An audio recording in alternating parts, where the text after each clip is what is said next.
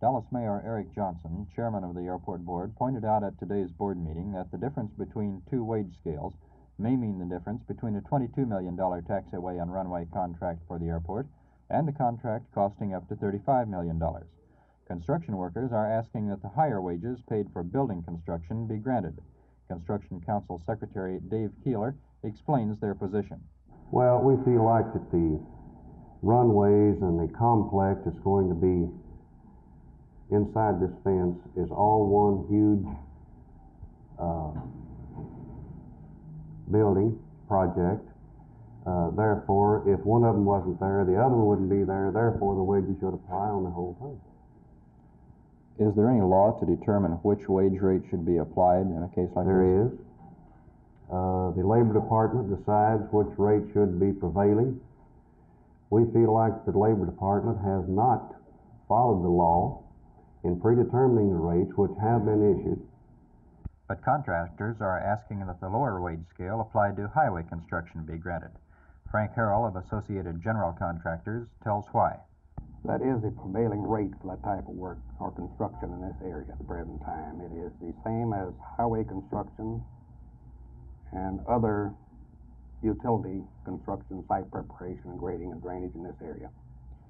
The labor maintains that runway preparation and site preparation is part of the building as such, and because of that, they should have the building rate. That's just about the same thing as stating that the highways leading in the city of Dallas are part of city hall. The federal government has called a hearing January 30th in Dallas to hear the two cases. If they decide in favor of the higher scale, it could cost some 20% more to build the airport runways. The contract for that construction should be let about March 1st.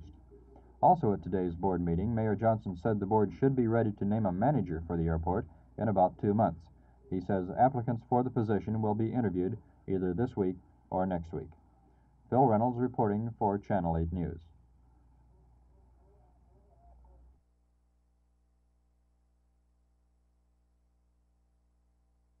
We beat the all-service team in the opening round, in the second round, we uh, defeated Northwestern from the Big Ten, which many people considered an upset. Uh, we didn't think so, however.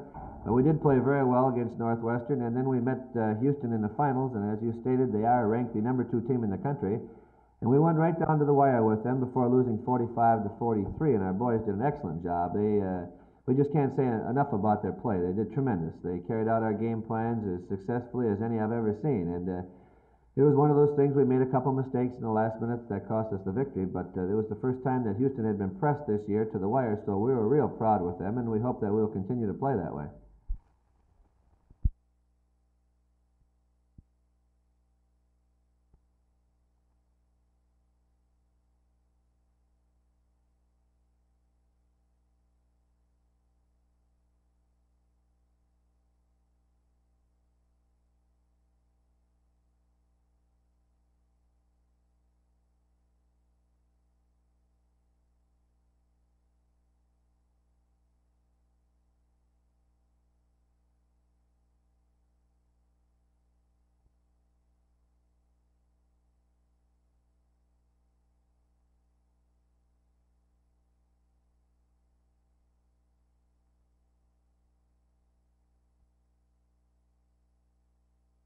What has happened in the area of venereal disease is that now so many of the patients with venereal disease can go to the offices of private physicians because the treatment is available and easily available.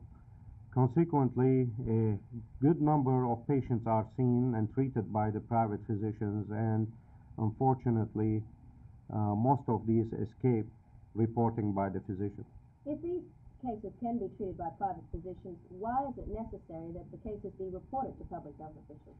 The importance of reporting is that for every case of of actual disease, there are several cases of contacts, and these contacts have to be found, defined, and tested and treated in order to solve the problem. Otherwise, if this is not done, then it looks like it, it's an iceberg where only a small portion of it is above the surface and the remainder, the big portion, would be hidden under the surface.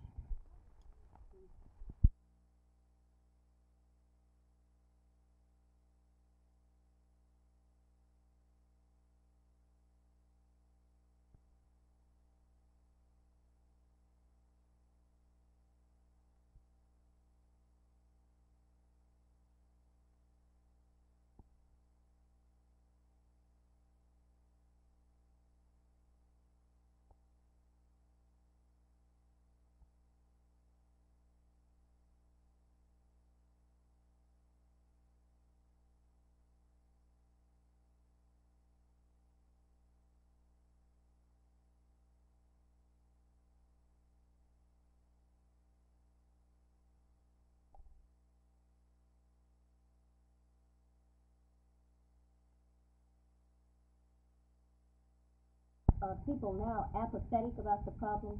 Yes, we feel that there is certain apathy and the, in the problem.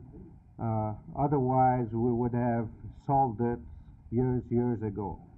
Uh, there is definite need for quick diagnosis and quick treatment.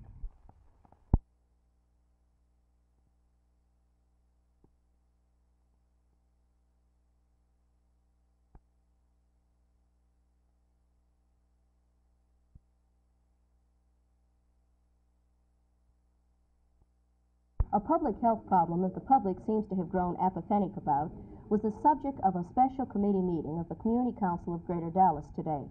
The topic was venereal disease, which is being described across the state as an epidemic proportions.